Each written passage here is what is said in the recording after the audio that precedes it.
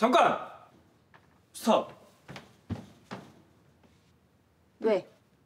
옷이 왜 그래? 오늘 데이트 있어서 좀 차려입어봤어. 왜?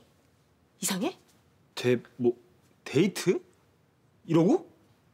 왜 이래? 비켜 회사 늦겠어. 아 잠깐만 야 누가 데이트를 이러고 가냐 어? 큰일 나게 이상해? 어 그 뭐랄까 이, 너무 드- 들떠 보여 아 진짜. 아 진짜.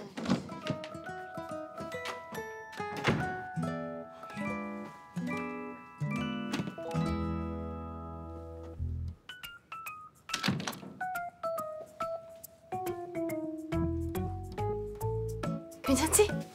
어 잠깐만 하나도 안 괜찮아 내, 내가 아 어쩌라고. 넌 그거 있지 그 운동할 때 입는 거 어. 샌드백 막 두들겨 팰 때 그게 제일 이뻐 그거 입고 가 이게 진짜 너 때문에 늦으면 내 손에 죽었어 너?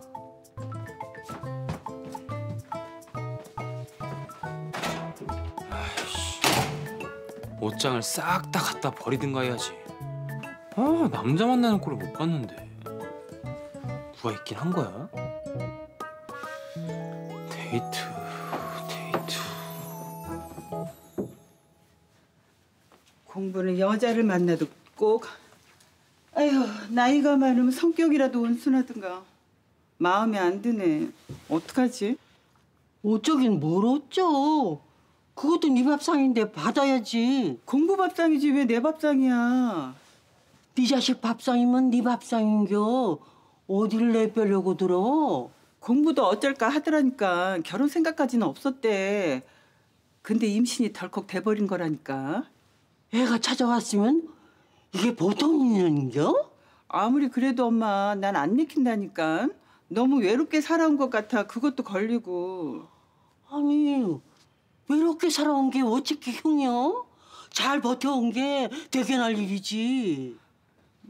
부모도 없대고 부모가 없으면 네가 부모가 돼주면 되잖여. 응? 아, 나야 부모요. 가슴으로 부모 주면 그게 부모지 안 그려?